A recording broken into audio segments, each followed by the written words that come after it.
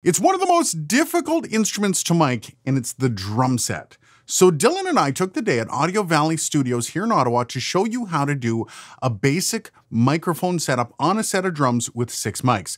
And I do have to thank Lauten Audio for sponsoring this video. They supplied the six microphones we're using for this. We have two LA120 pencil mics, two LA220 large condensers, an LS208 and an LS308 for the snare and the kick drum respectively. Thank you, Lauten. And I'm going to let Dylan take it away. When we're recording drums, there is what I like to refer to as the cockpit. We've got sort of our hi-hat, our kick, our snare. This is where I'm spending, as a drummer, going to be spending most of my time in most of my parts. There's other elements here. We've got a, a rack tom, we got a floor tom, we got some, some more breakables. Um, and like those are important too, but I'm gonna focus in this case, I wanna get really good capture of my cockpit instrument. So we've got, we've got a, a, a mic on the snare, we've got a, an out mic on the kick. Normally I would also like to have an in mic on the kick, but again, we've got six mics, so we really have to prioritize what it is that we're doing. Um, so in this case, the two large diaphragm condenser mics, um, I believe are the 220s, I'm going to be putting on the uh, just A being on the kit. I want to get as much meat from the overheads as possible. Um, and then my two pencil mics I'm going to be putting on the top, the batter head of the rack tom and the floor tom. I'm not sure. It's, this is my first time I'm going to be using a small diaphragm condenser on a floor tom, so that'll be kind of an interesting experiment. But these are really good mics, so I'm not, I'm not concerned about it. So here we've got the LS308. This is what we're going to be using as our kick drum mic A little bit of drum anatomy for you. This is called the resonator head. The head on the other side that the stick, or in this case, the pedal hits, it's called the batter head. So in this case, I want to get the meat of the kick drum. This is a very boomy kick. There's not a ton of padding and uh, absorption material in there. I'm interested to see how this mic is going to react to that. Uh, so we're going to, typically with a kick mic, when it's ported especially like this, I'll try to get a mic inside the kick drum, like right up near the batter head to get that, that click, that attack.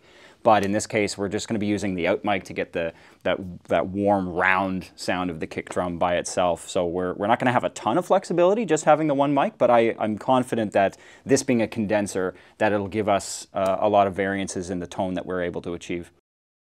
All right, so here we've got the LS208 on our snare drum. This is, we're just gonna mic snare top in this particular instance. Generally with snare top, the only uh, things that I try to avoid is, number one, this is a condenser mic as well, so we're gonna try to keep that away uh, or pointed away from the hi-hat, uh, just because this hi-hat is gonna be pretty loud and obnoxious uh, in, in that snare mic. So just to try and maximize our isolation, I wanna try and get this mic um, just the business end of it, because this is a front address mic, pointed at the center of the snare drum as much as I can. And also, depending on the part, you got to factor in what you're actually performing. In this case, I want to try and keep that snare if I'm doing side stick or whoever my player is is going to be doing side stick. I want to make sure there's not a huge risk of them whacking the mic. Um, so we're just trying to avoid that. So in this case, I'm going to generally do side stick with this hand. So, and there we go. So I'm, I'm away from it. I'm away from the mic. Um, normally, I, I, might also, depending on the snare, depending on the material of the shell, I might mic the shell a little bit. I might mic the bottom. In this case, again, we got six mics, so we're just going to mic snare top, and uh, it's a condenser, so uh, I'm hoping for a lot of brightness. Now, one of the coolest things about these Lauten mics is the ability to shape your sound to what you want. The high pass and the low pass on all of these microphones gives you the freedom when setting up. You can roll off the high end for a bit more warmth, or roll off the low end for all the detail in the world. Really, one of the reasons I went with Lauten audio mics for this test. Instruments have way more nuances across the frequency ranges, and this shaping can make all the difference. I'm miking up the tom here with one of the LA 120s.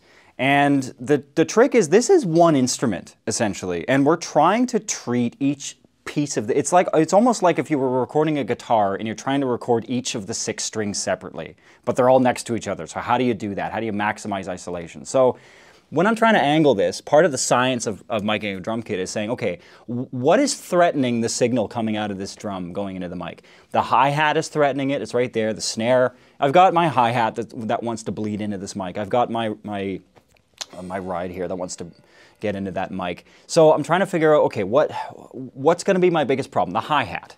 The hi-hat's going to be my biggest problem because it's it's going to be uh, used in this part a lot more than the ride is going to be used. So I can deal with a couple little splashes from the ride uh, in the mic. So I'm going to sort of prioritize that and try to get the, the, the sensitive area of the, the pickup pattern of the mic, this cardioid mic, um, as, as far away within reason from the hi-hat as I can. So stretch the mic out here. And also, again, keeping it away from my stick and trying to point it towards the middle of the head as much as I can. Okay, so we're to try. There's a lot of trial and error. You put the mics up, you, you listen to them. If they sound wonky, you can make little tweaks, but th that's ballpark where I think I'm to have it. So with our floor tom, we kind of got the same thing. Again, this is to be an interesting experiment for me. I've never used uh, a small diaphragm condenser, i.e. a pencil mic, on a floor tom before. I'm going to probably, on this mic here, I'm going to, I'm going to put on a, the high pass filter a little bit because this is going to be, there's, there's some woof to that, especially if I hit it with a stick and not my finger. The camera's going to hate that. So is your lapel mic. Yep, it's just right, like hanging over the drum. Um, so it's kind of the same thing here. I want to figure out what's what's really going to threaten this floor tom. Chances are I'm going to be using these in fills most of the time, which means right after I hit this floor tom, 90% of the time, there's going to be some that or that. So I got to kind of keep that in mind and try to get this mic away. While again, also factoring in where's my stick going to go. Um, where's my stick going to go? In this case, we don't do side stick on floor toms, so that's not a concern for me. All right, and then I'm going to get down low just to see again exactly where that business end is pointed because I want to try and get it in the middle of the middle of the head. So I guess I should point out that with the configuration we went with here, you can also use these LA120s as overheads. And they're fantastic overheads at that. They do come with these Omni capsules that you can swap out with the cardioid capsules. And instead of that tight cardioid sound you can get from a pencil mic, you end up with a nice open-ended room miking sound. Now we ended up going with the isolation from the cardioid capsules as the situation we had, but honestly, outside the kick and the snare mics, you can do as you see fit. Also, I did kind of want to showcase the AB setup with the large condensers on the overheads, as you will see coming up. Here we're setting up our LA220s as our overhead mics. Uh, I chose these because of the mics that we have in this kit. They're going to get the most sort of meat and potatoes. There's some elements here that aren't mic'd right now, really. Uh, so I, I want to get as much um, as much color and tone from that as possible. Pencil mics are great. Typically, I would use pencil mics as overheads in either an XY or like an ORTF position. Really important point when you're setting up overhead mics, bring a measuring tape. You need a measuring tape because you want to make sure that the, the phase of your cockpit, as I referred to earlier, your cockpit instruments, your snare and your kick, but mainly your snare, because the snare is going to be a lot, a lot of your good snare tone is going to come from your overhead. So you want to make sure that the mics are the same, the business end of the mics are the same distance from the center of the snare drum. Whatever position you're doing, whether it's obviously with XY, it's pretty easy because your capsules are generally in the same place. But for something like this, I'm doing kind of an A-B pair, as you can see. Uh, I want to make sure that I'm on the same distance. So obviously this mic is much closer. So I'm going to be backing this mic up a little bit and trying to equalize these because I want to make sure that the sound that comes from this snare drum arrives at the microphones at the same time. I don't want to be dealing with phase issues. I don't want to have to be doing any kind of polarity reversal after the fact if I can avoid it with my overheads. I want to be able to leave my overheads naturally because if I'm doing polarity reversal or any kind of phase adjustment after the fact, I'm going to be messing with the phase of the rest of the kit as well, just to compensate for the snare.